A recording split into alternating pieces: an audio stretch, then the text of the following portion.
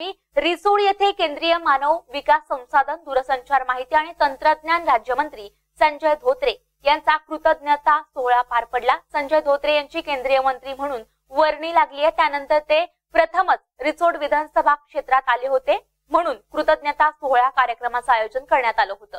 यावेळी धोत्रे यांचा सन्मानही करण्यात आला.